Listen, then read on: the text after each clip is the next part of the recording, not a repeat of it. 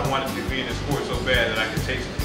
You know, and I'm glad, and I'm glad that I got a chance to taste this course because this course has a lot to offer.